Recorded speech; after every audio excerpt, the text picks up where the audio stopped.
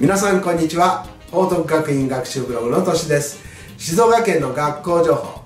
今回は沼津中央高校の塾対象説明会のお知らせです。え塾対象説明会、えー、開催日時は令和4年10月13日の木曜日です。これ午前と午後2回行われます。1回目は受付が10時30分。説明会は10時45分から11時30分。午後の部2回目は受付が13時30分から。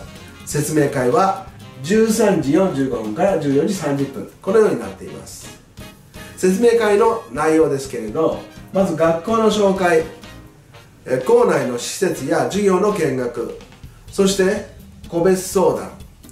この予定だそうです、え申し込み方法が他の学校とは異なっています他の学校は、えこれ案内が来てそこに申し込み用紙が入っているんですけれど沼津中央高校は申し込み用紙が入っていなかったはずです、えー、なぜならっていうとこれホームページから申し込むようになっているんですね、えー、沼津中央高校のホームページを開いてそこから申し込むので、えー、ぜひ参加する方ホームページから申し込んでください、今回は沼津中央高校の塾対象説明会、こちらのお知らせをしました。